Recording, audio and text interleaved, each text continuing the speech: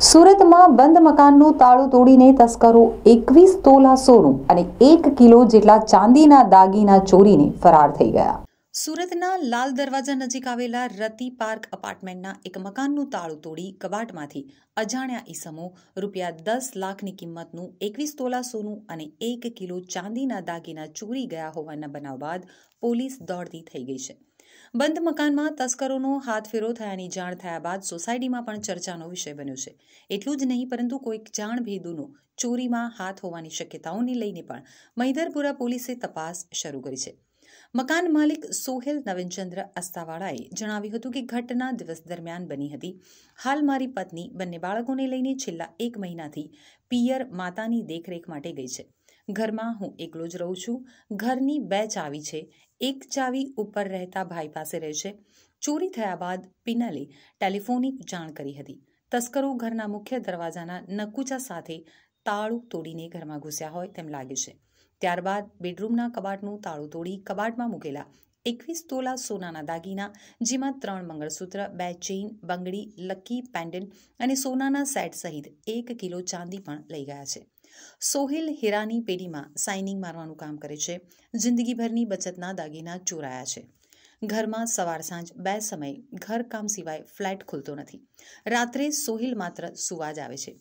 ચોરી થયા બાદ મહિધરપુરા પોલીસને જાણ કરી છે અને પોલીસે ફરિયાદ નોંધી આગળની તપાસ હાથ ધરી છે.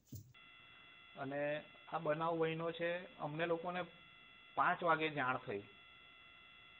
એટલે પાંચ વાગે જ્યારે મારા મમ્મી ઉપર ત્રીજા માળેથી આ નીચે મારા ભાઈના મકાનમાં આવ્યા, ત્યારે દરવાજો ને બહારની ગ્રીલ ખુલ્લી જોઈ. એટલે એણે એ જોયું, એટલે એણે બૂમ કરીને આજુબાજુવાળાને કીધું કે ભાઈ, મારા ઘરમાં ચોરી થઈ, અંદર જોયું. એટલે પછી ત્યાર પછી બધા ભેગા થયા અને ત્યાર પછી પોલીસને જાણ કરવામાં આવી અને પછી પોલીસે આવીને ઇન્વેસ્ટિગેશન કર્યું. સર્ચ બધું વિગતો પૂછી ભાઈને બોલાવ્યા ભાઈની વાઈફને બોલાવ્યા. ભાઈનું નામ ભાઈનું નામ સોહિલ નવીનચંદ્ર આસ્તાવાલા છે. આ એનું ઘર છે આ એનું ઘર છે મારા ભાઈનું.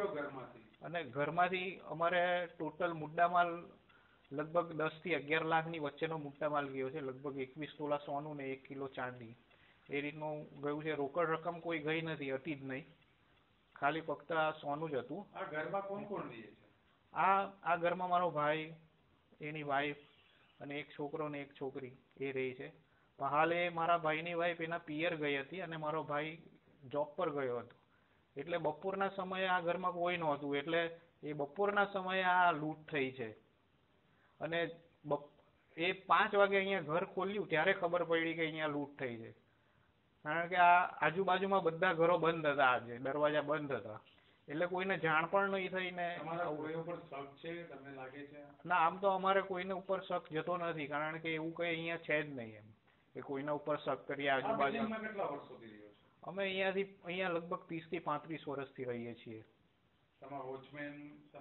અમારો વોચમેન પણ એકદમ વ્યવસ્થિત છે એવું કોઈ એના એ કઈ આવું કરે એવું લાગતું નથી. કોઈ ઉપર શક છે? ના કોઈના ઉપર આમ તો શક નથી જતો. મકાન કોને ખોલ્યું મકાન મારા મમ્મીએ ખોલેલું હતું. પણ ખોલવાની પોઝિશનમાં જ નહીં હતું. ઓલરેડી ખુલ્લું થઈ ગયેલું હતું. તાળું તોડી નાખેલું હતું. સોસાયટી કઈ જગ્યાએ પણ આવેલી Rati park apartment near Shivanjali row house જૂનું નટરાજ સિનેમા છે. લાલ દરવાજા. આપણું નામ શું કીધું?